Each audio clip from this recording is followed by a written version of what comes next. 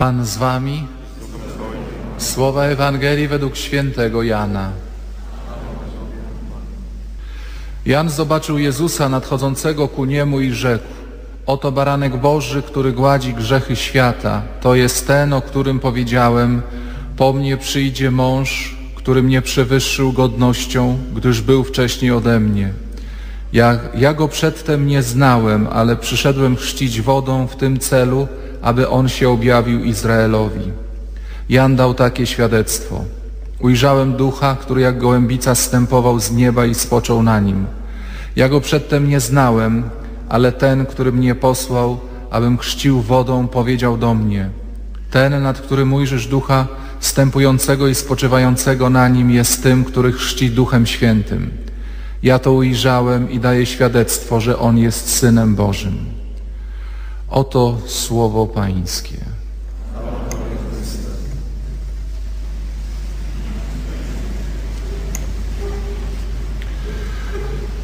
Drodzy bracia i siostry, kiedy przyglądałem się czytaniom dzisiejszej niedzieli z księgi Izajasza, z listu do Koryntian i z Ewangelii Jana, uderzyło mnie, może to już takie moje skrzywienie tej pasji duchowej, że jakimś wspólnym mianownikiem tych wszystkich trzech czytań jest to, że w każdym z nich występuje mężny, wspaniały, odważny i bohaterski mężczyzna. Księga Izajasza to Izajasz, proszę zwrócić uwagę, Bóg stał się moją siłą. W każdy, każdy z tych mężczyzn y, odpowiada tej jednej cesze z takiej szczególnej, y, charakterystycznej dla duchowości mężczyzny. Proszę zwrócić uwagę, od czego zaczyna przedstawianie siebie Izajasz. Nie, że jestem ładny, że pochodzę z ładnej krainy. Bóg stał się moją siłą. Facet od tego zaczyna, od manifestacji siły. A potem Pan Bóg mówi do Izajasza to, co każdy mężczyzna chce usłyszeć. To zbyt mało, że jesteś mi sługą dla podźwignięcia pokoleń Jakuba. To zbyt mało, co tam Izrael mi nawrócisz. Ustanowię Cię światłością dla pogan, aby moje światło dotarło aż do krańców ziemi. Przyjacielu, dam Ci w leasing taką firmę, że będziesz miał przedstawicielstwa w Australii, w Kanadzie, w Stanach, w Azji, w Chinach, w Polsce i wszędzie. Taką Ci firmę dam. Będziesz wielki. I każdemu z nas, drodzy panowie, o ile wierzy w to jakoś jeszcze, oczy się szklą. Będę wielki, bo my chcemy być wielcy. I Pan właśnie to mówi Izaaszowi. Co tam Izrael? Ja Cię poślę na misję na cały świat. W pierwszym liście do Koryntian natomiast u świętego Pawła mamy to, co każdy z Panów chce też usłyszeć i to widzieć. Paweł z woli Bożej powołany na apostoła Jezusa Chrystusa. Swoje imię ma, apostoł. Zarazą, która niszczy mężczyzn jest ten brak posiadania imienia. Kim ja jestem? Czy maminsynkiem, czy blagierem, czy erotomanem, czy handlarzem, czy cwaniakiem, czy kłamcą, czy chłoptysiem? Kim ja jestem? I Paweł zaczynając list od razu zaczyna od tego. Ja, apostoł, wybrany przez Chrystusa. Mam imię i to jakie? Nie Czesio, Bodzio, Benek, Lutek, apostoł Jezusa Chrystusa. On się tym chwali, on jest z tego dumny. To, co mówiłem, prawda, ten kłopoty z przedstawianiem się. Jak się Pan nazywa? Jak się Pan nazywa? Proszę powiedzieć, jak się Pan... My mamy kłopoty z wypowiedzeniem swojego imienia. I wreszcie yy, trzecia postać, Jan Chrzciciel i trzecia cecha, mężczyzna lubi konkret. I Jan Chrzciciel mówi, yy, przyszedłem chrzcić wodą, aby się Chrystus objawił. Ja mam do zrobienia robotę, tą, tych ludzi ochrzcić, wezwać do nawrócenia, Jezu, wskazać na Jezusa, to jest baranek Boży, koniec mojej roboty. Fajrant. Tylko, że ten fajrant dla Jana to była śmierć. Ale proszę zwrócić uwagę, oni wszyscy są wielcy, mocni, twardzi. Nieprawdopodobne mieli historie. O każdym z nich, Izaaszu, Janie Chrzcicielu i Pawle Apostole można by nakręcić film sensacyjny, ale oni wszyscy są w służbie, bo mężczyzna lubi służyć wielkiej sprawie. Ja, ciarki mi kiedyś przychodziły, jak czytałem jakieś wspomnienia y, adiutanta jakiegoś przedwojennego generała, wielkiego generała, wielkiej postaci przedwojennej Polski, przepraszam, nie pamiętam nazwiska, bo ten adiutant mówi, on mówi, jak ja byłem dumny, jak ja trzy kroki za swoim generałem szedłem, Tylko patrzyłem na jego oczy. Niechby mrygnął na mnie, natychmiast podchodzę, jestem panie generale. Prężyłem za nim się, pistolet u pasa, niechby tylko ktoś do mojego generała się zbliżył. Ja wszystko to robiłem po to, żeby wieczorem, niecodziennie, raz na rok, generał powiedział do mnie, dobra robota. Facet nie musi mieć więcej. Tylko żeby jego mistrz duchowy, jego autorytet powiedział mu, dobra robota, brachu. Przy Tobie czuję się bezpiecznie. Drodzy Państwo, i wracamy tym samym. Aha, tylko że jest pytanie, no tak, oczywiście ksiądz nam znowu mówi o wielkich mężczyznach, o odważnych, mężnych, ale jak to zrobić? No to, jak to, to, to my wiemy, w filmach są wielcy mężczyźni, w bajkach, w legendach, w książkach, w historii mamy wielkich mężczyzn, a my jesteśmy często średniego kalibru mężczyznami. Otóż jeszcze jedną uwagę proszę zwrócić na dzisiejsze czytanie z, z księgi Izajasza. Pan mnie ukształtował od urodzenia. Żeby być mężczyzną wielkiego ducha, trzeba przejść przez formację. Pan nie pstryknął i zamienił małego Jasia wielkiego Jana Chrzciciela, jakiegoś Izajaszka w Izajasza. Pawełka zamienił w Pawła Monoro, tylko to był proces. Pan ukształtował mnie od urodzenia. Wracamy do tego tematu, już on był tu wałkowany, ale jak się coś raz powie, to nie znaczy, że to doszło do naszego serca. Ja przypominam, proszę Państwa, człowiek przypomina doniczkę z zeschłą ziemią, lejemy wodę, lejemy, a ona tu ciągle stoi i nie skapuje do środka. Trzeba tą ziemię w doniczce rozgrabać, przeorać, nakuć patykiem i dopiero woda spłynie w głąb. Więc będziemy dzisiaj się znowu nakuwać patykami i lać trochę tej wody, żeby poszło w głąb naszych serc. I nie mam żadnych skrupułów, że w kościele są także niewiasty, a ja będę mówił o duchu męskim, dlatego że rzadko czego tak wam, drogie panie, potrzeba w życiu jak twardych facetów. To dlatego dla Kościołowi potrzeba mężczyzn, kobietom potrzeba mężczyzn, a nam mężczyznom potrzeba też, też mężczyzn. Yy... Przypomina mi się taki obraz, opierać się będę w tych swoich refleksjach na książce Johna Eldridge'a Droga Dzikiego Serca i on opisuje tam sytuację, kiedy podróżnicy idą przez mokradła bagna, teren bardzo niebezpieczny, ale idą pewnie. Dlaczego idą pewnie? Bo wstawiają nogi w ślady niedźwiedzi. Niedźwiedzie przechodziły przez mokradła, stare niedźwiedzie, które już mają nosa, instynkt zwierzęcy, i małe niedźwiedzie szły za tymi dużymi i wstawiały łapy w ślady stóp taty. A za tym posuwali się podróżnicy i też wstawiali swoje stopy w ślady niedźwiedzich stóp. I to jest, kochani, symbol tego, jak się przechodzi przez życie, żeby przez nie przejść i nie utonąć w mokradłach i w bagnach. Trzeba mieć przed sobą ślady, ślady Ojca. Wiecie, dlaczego tak jest wielu ludziom ciężko, wielu panom jest ciężko? Gubią się w czystości, w młodości, w różnych romansach, przed internetem, potem w małżeństwie, potem Bóg wie w czym, w jakimś hobby, które opętało człowieka, jakiegoś pana. Dlatego, że nie mają tych śladów swojego ojca. Faceci nie potrzebują treści, teorii, nakazów, zakazów, ale potrzebują spragnionej ścieżki. Czy zauważyliście Państwo, że panowie mają zdecydowanie większe, ja to widzę i po sobie, i po różnych sytuacjach w życiu, zamiłowanie do map niż kobiety?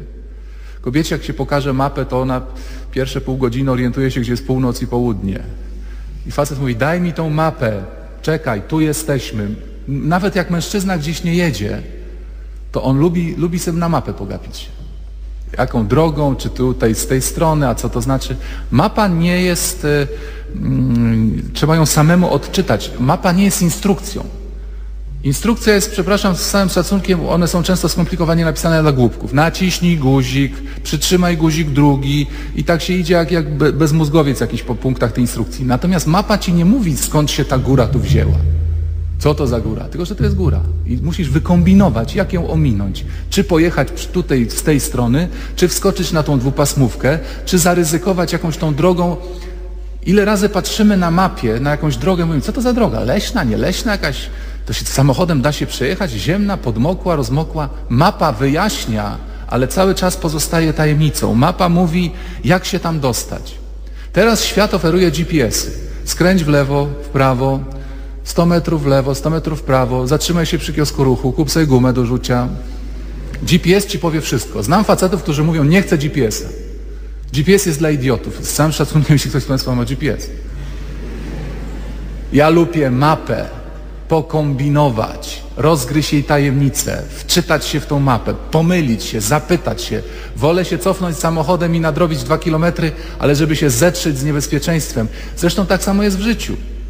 Wielu panów nie lubi GPS-a, wielu panów dostało GPS-a na ślubie. Żona mówi siadaj teraz, jedz, włącz telewizor, wyłącz telewizor, idź do łazienki prosto, w lewo, naciśnij tubkę z pastą do zębów. Nic tak facetów nie wnerwia jak taki osobisty GPS.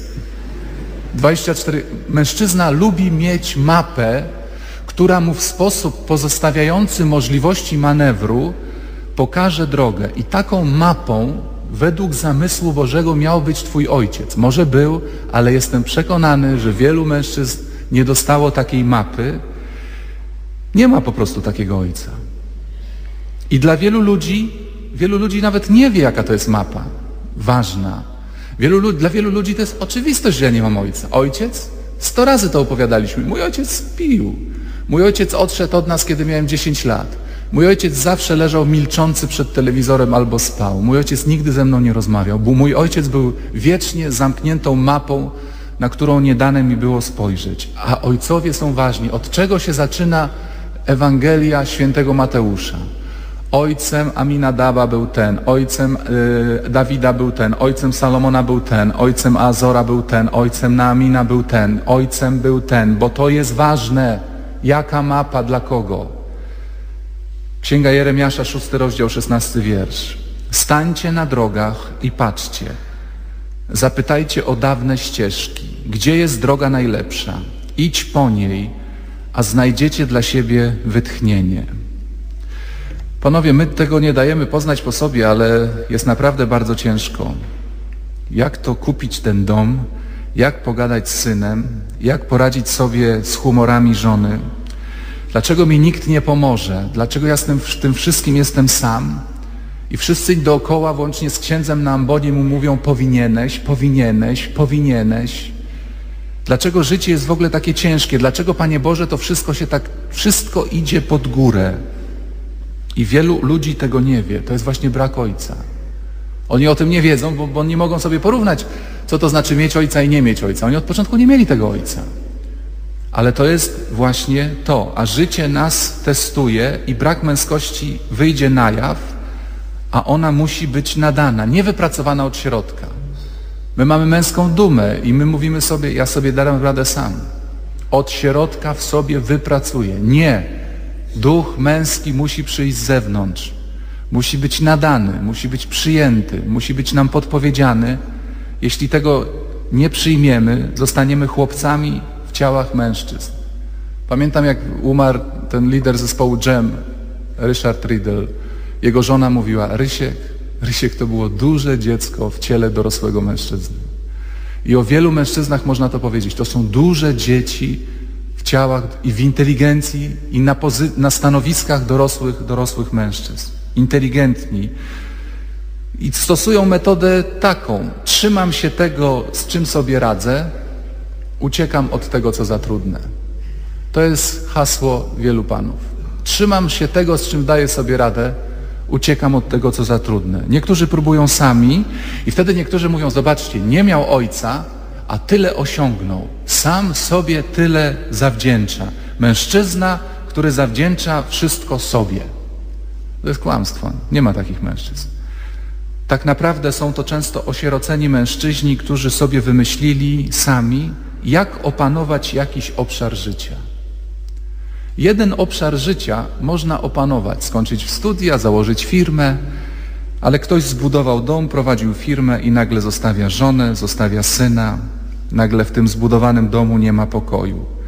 Nie mamy rozszyfrować życia sami. Bóg chce nas przez nie przeprowadzić i już to robi. I to jest, kochani, proces, proces, który wspomniany przeze mnie Eldridge opisuje w sześciu etapach, że sześć etapów jest w życiu mężczyzny, nie można żadnego pominąć i każdy jest ważny. On je umownie nazywa takimi słowami. Chłopiec, kowboj, wojownik, kochanek, król, i mędrzec. Jeśli mężczyzna żyje przeciętnie 78 lat, o 70-80 lat, to na każdy etap swojego życia ma około 10 lat. I nie wolno żadnego etapu przeskoczyć. A życie, niedobrzy rodzice niekiedy, niedojrzali rodzice, zmuszają chłopca, żeby przeskoczył etap. On jeszcze nie doszedł do końca, że jest chłopcem, a ojciec, który zostawia go i żonę, bo idzie do kochanki, mówi do synka, do dziesięciolatka, no syneczku, teraz ty jesteś mężczyzną w tym domu. Ty tutaj pamiętaj, jesteś mężczyzną. Boże, on jeszcze nie zdążył być kowbojem ani wojownikiem, co dopiero do, do króla daleko, a tatuś już mu mianuje go na głównego dowodzącego tym, tym, tym domem. W wielu przypadkach tak jest. W wielu przypadkach na chłopca spada to, do czego on jeszcze zupełnie nie jest przygotowany. Natomiast wszystkie etapy trzeba przeżyć. My tego nie lubimy, bo dziś jest wszystko od ręki. Chcesz zadzwonić do kumpla w Ameryce, wyjdziesz przed świętą Annę, naciśniesz w komórce 10 cyfr, już masz kumpla w Ameryce. Chcesz się dowiedzieć, jaka pogoda jest w Budapeszcie? Stukasz na klawiaturze parę literek, już masz pogodę w Budapeszcie. Już nawet nie trzeba czekać, żeby się spodnie wytarły, bo idziesz do sklepu i kupujesz już wytarte spodnie. Wszystko jest od ręki. Nie trzeba czytać Pana Tadeusza. Wystarczy wejść na streszczenie w internecie Pana Tadeusza. Wszystko jest szybko. I my się tak przyzwyczailiśmy do tego, że wszystko mamy szybko. Chłopak poznał dziewczynę, to co Państwu często mówię, w sobotę. W niedzielę powiedział, że ją kocha. W poniedziałek byli w łóżku. A w czwartek już mówią, to był trudny związek, musiałem go zerwać. Wszystko szybko. A w prawach życia nie ma wszystko szybko. Musisz być pierw chłopcem, potem kowbojem, potem wojownikiem, potem kochankiem, królem i mędrcem. Jeśli nie ma inicjacji, nie ma mężczyzny. Jeśli nie ma tego całego procesu, nie ma mężczyzny. Boimy się tego słowa ojciec, dlatego że mamy z nimi często albo złe skojarzenia, albo puste skojarzenia, pustka, jakoś pustka z tego, z tego słowa dla nas idzie. Już o tych zranieniach mówiłem tu Państwu tyle, jakich, jakich możemy doznać. W tym tygodniu przeczytałem o takim zranieniu jakimś niespektakularnym. Chłopak budował sobie na drzewie dom. Takie, takie zwykłe, chciałbym się powiedzieć zwykłe zranienie. I miał ojca, który był budowlańcem właśnie. Ojciec też się zajmował budową domu. Jak on budował ten dom na drzewie, ojciec ani razu do niego nie zajrzał. On potem w tym domu siedział, tam całe wakacje, strzelał, prowadził polowanie, obserwacje. Ojciec nigdy nie przyszedł, powiedział, no pokaż ten swój dom, co żeś zbudował. Jest potworna rana. Czy taki chłopiec uwierzy w to, że Bóg Ojciec chce mu błogosławić? Czyż mottem życia takiego chłopaka nie stanie się, mi nic nie wyjdzie. Wszystkie moje marzenia są złe do kitu. Mi się nic nie uda. I co wtedy? Wtedy trzeba się zmagać, pracować, dogad do, dogadzać sobie, pocieszać, kombinować. I dla wielu jest to normalne. Co to jest moje życie?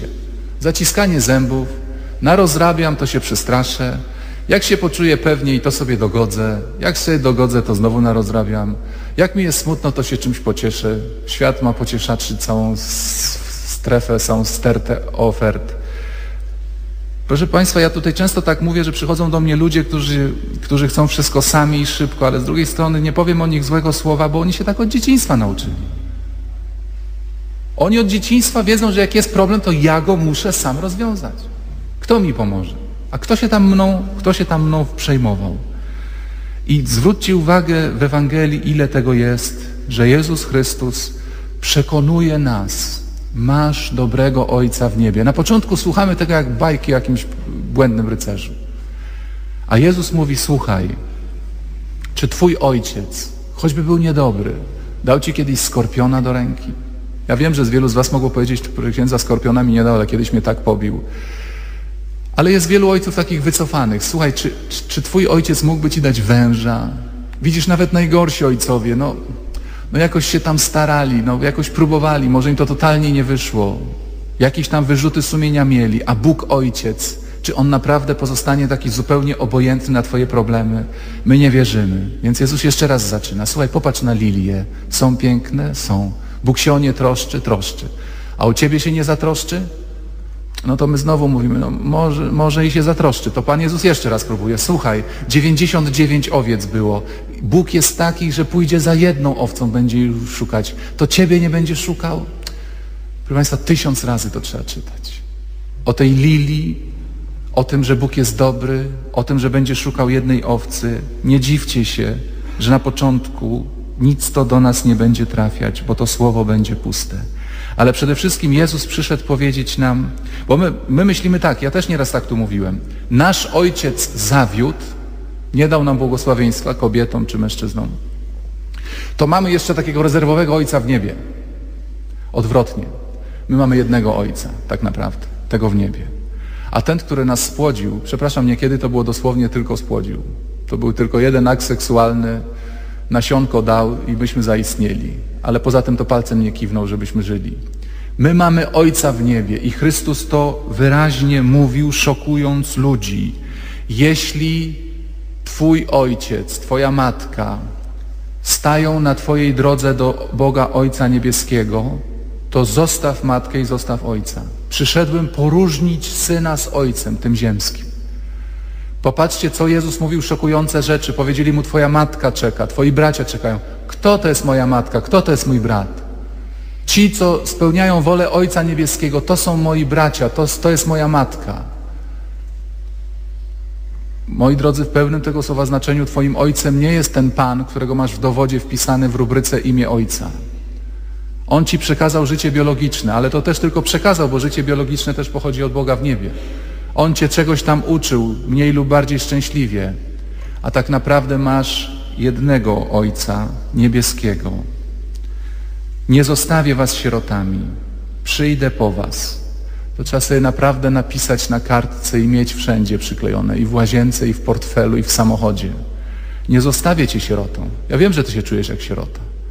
Przyjdę po was. Jan 14, 18. Szukamy Ojca, bo jesteśmy ciągle mężczyznami niedokończonymi. Z tych sześciu procesów często, bardzo często, któryś w ogóle nie został podjęty nawet, a co dopiero zakończony. Ja chciałbym o tych procesach Wam opowiedzieć, może nie po kolei, przez, przez kolejne niedziele. Zobaczymy, jak tutaj Pan Bóg nam pokieruje naszymi rozważaniami przez swoje czytania. Ale dzisiaj chociaż jeszcze kilka słów powiem na temat pierwszego etapu.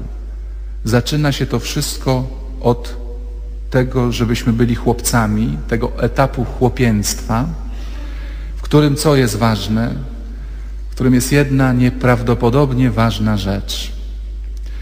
Żebyśmy doświadczyli tego, że dla Ojca jesteśmy ważni. Wiecie, nawet synowie alkoholików, nawet, nawet synowie ojców, którzy się rozwiedli z mamą i odeszli, ze łzami w oczach mi opowiadali, i słuchałem tych opowieści też z drżeniem. Proszę księdza, mój ojciec to był drań, ale kiedyś, raz, raz w życiu zabrał mnie na mecz, na Legię gdzieś. I zaczął straszny deszcz padać. I ojciec rozpiął kurtkę i otulił mnie swoją kurtką.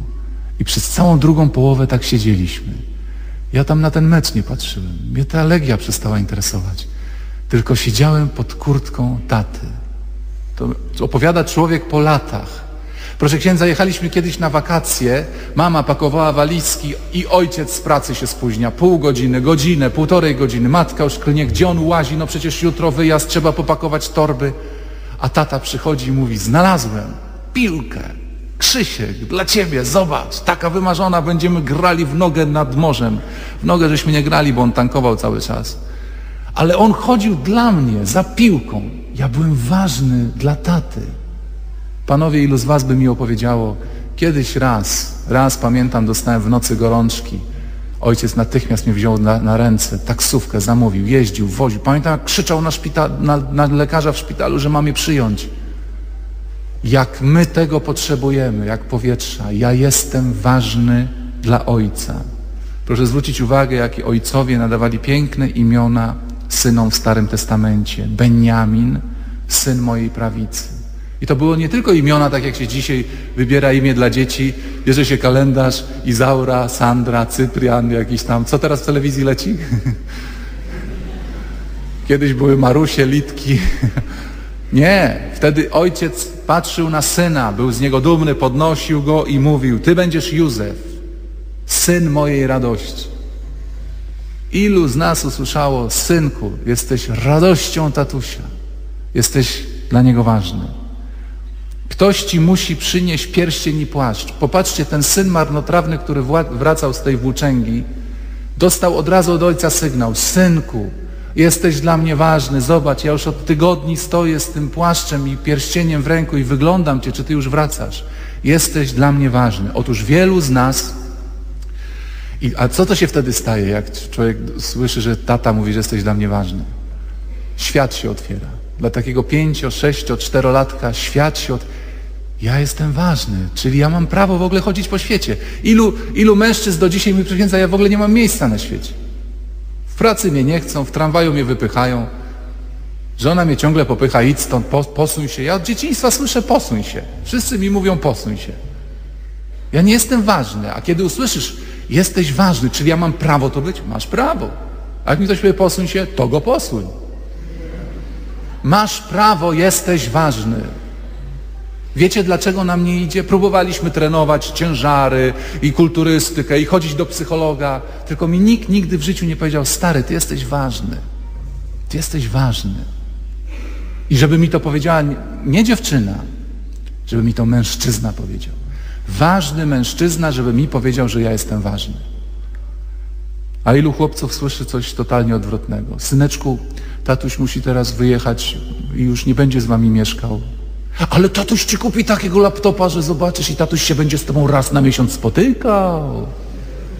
Także wiesz, ten tak patrzy chłopiec, mówi, to tatuś idziesz do innej pani i do innych dzieci, tak? Albo tatuś, tato, tato, chodź pobaw się ze mną, tatuś się źle czuje, zostaw tatusia teraz. A to ja nie jestem ważny i te wszystkie moje sprawy dziecięce nie są, nie są ważne. Ojciec jeździł do pracy, ojciec jeździł na ryby, ojciec oglądał telewizję, ojciec spał, ojciec pił piwo, ojciec oglądał mecze, a ja ciągle stałem w kącie z boku i chciałem mu pokazać ten swój świat, a ten świat mój był tak bardzo nieważny. Trzeba teraz wskrzesić w Tobie, drogi Panie, mężczyzno, który tu stoisz u świętej Anny, a któremu nikt nie może nie powiedział, że jesteś ważny, sam w sobie, w swojej męskości.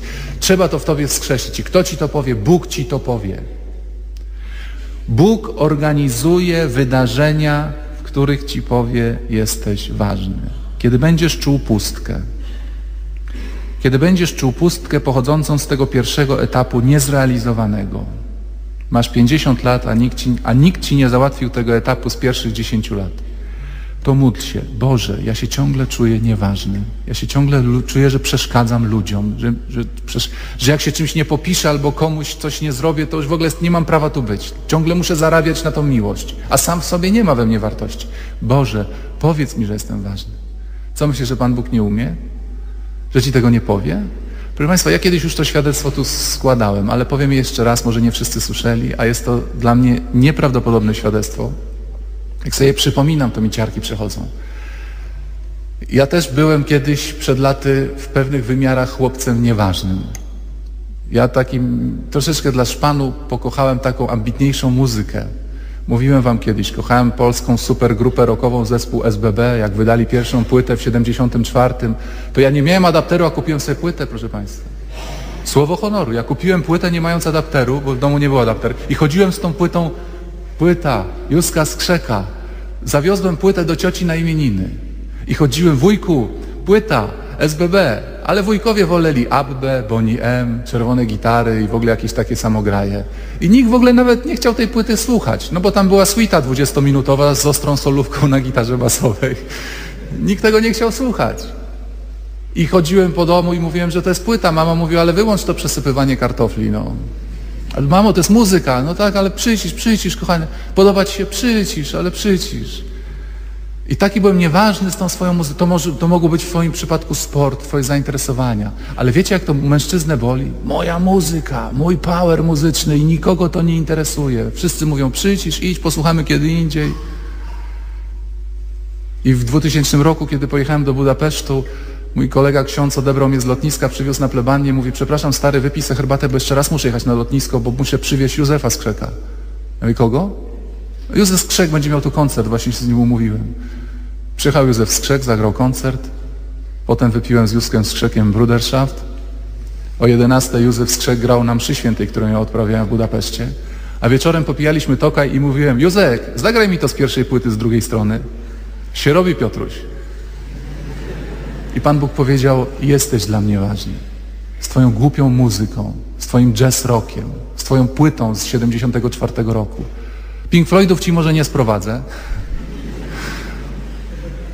I zobaczysz, że Ci Bóg pokaże. Coś takiego wyśmianego w Tobie, w dorosłym życiu. Widzisz? Jesteś dla mnie ważny. On tę inicjację chce przeprowadzić. My nie wierzymy własnym oczom i własnym uszom. Ja, Panie Jezu, dla Ciebie? Ciebie to naprawdę interesuje? Pan Bóg może powie, słuchałem lepszych płyt, ale ta niezła, niezła jest. Tylko prośmy Go o to odważnie. Nie ruszysz, chłopie, brachus, nie ruszysz bez poczucia swojej ważności. I Bóg, Ojciec Cię zabierze na mecz i otuli Cię kurtką i będzie z Tobą siedział, choćbyście byli sami na Wembley we dwóch i będzie Cię tulił, żeby Ci pokazać, że jesteś dla Niego ważny. I od tego cała droga się zaczyna. A co dalej, to jeśli Bóg pozwoli, powiemy w przyszłe niedzielę. Powstańmy. Wierzę w jednego Boga, Ojca Wszechmogącego. Bóg pragnie przemawiać do ludzi także przez swoich proroków, kapłanów, odważnych, dzielnych mężczyzn, nie tylko tych w sutannach, także tych, którzy są mężami, ojcami w ich domowym kościele. Stańmy teraz świadomi tego, jak wielki kryzys ogarnął świat chrześcijański, jeśli chodzi o postawę męską, ojcowską. Stańmy teraz przed Panem w pokorze, składając u Jego stóp nasze prośby. Módlmy się za Kościół, aby wszyscy chrześcijanie, panowie chrześcijanie, młodzieńcy chrześcijanie kształtowali przez Ewangelię swojego męskiego ducha. Ciebie prosimy.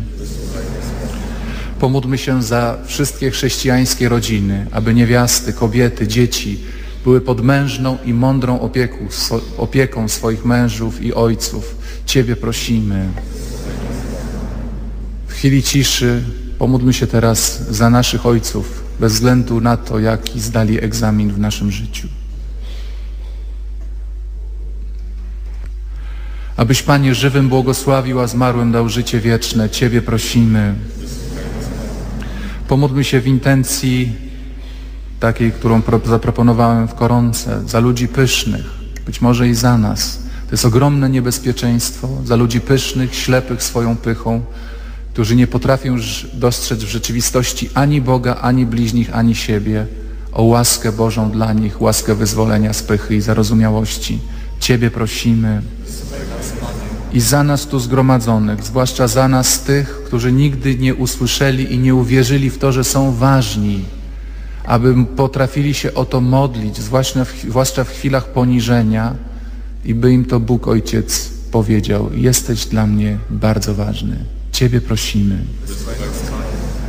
Panie Jezu Chryste, daj nam tak szeroko otwarte oczy wiary, byśmy i w każdej mszy świętej słyszeli, kiedy kapłan udziela nam Eucharystii, kiedy wchodzimy do Kościoła, kiedy słyszymy słowa Pisma Świętego, słyszeli właśnie to, jesteś dla mnie ważny, niepowtarzalny i jedyny, który żyjesz i królujesz na wieki wieków.